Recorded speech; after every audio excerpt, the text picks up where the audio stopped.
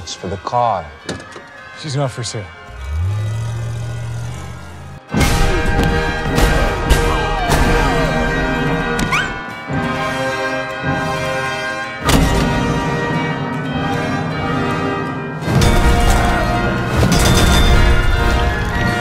John will come for you.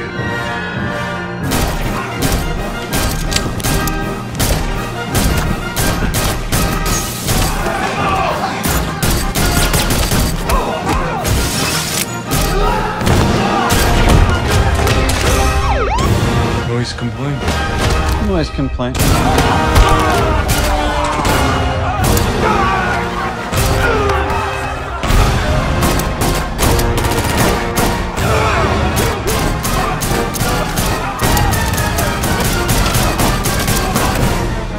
I kind of enjoyed that.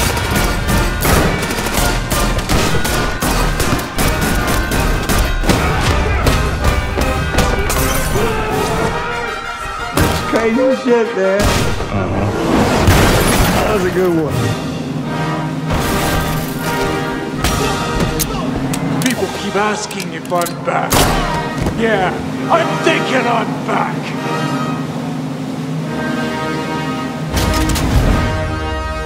John Wick. You're not very good at retiring. I'm working on it. The legend.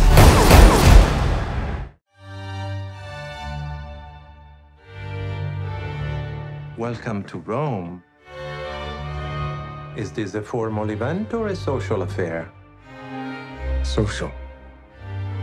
How many buttons? Two. And what style? Tactical. Mr. Wick, do enjoy your party. How good to see you again so soon.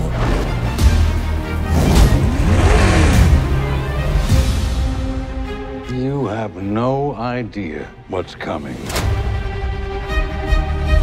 You want a war?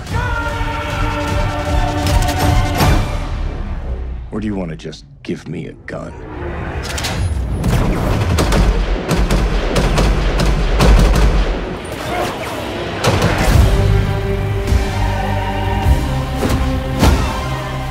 Comes,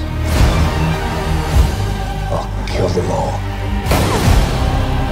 The man, the myth, the legend.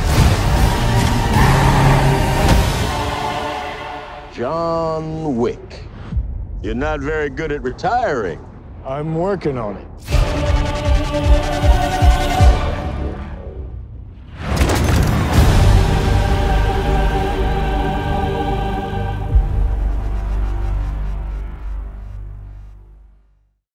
Hey, Bali here. So did you like that video?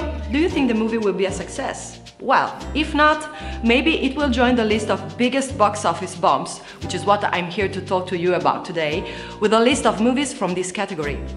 So let's start off with 2009's The Lovely Bones, which bombed at the box office with an estimated $64 million loss.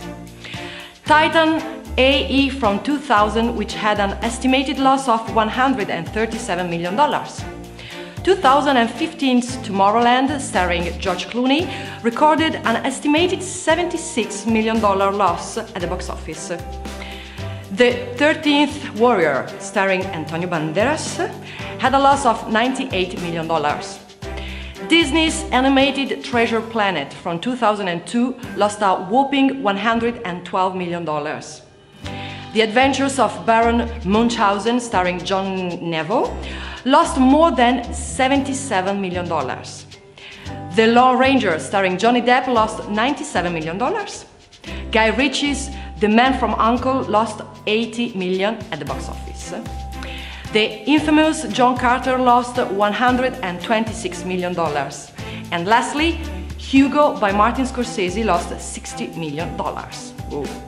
So, do you agree with the movies of this list? Let me know in the comments below and remember to subscribe to our channel for all the best trailer releases. See ya!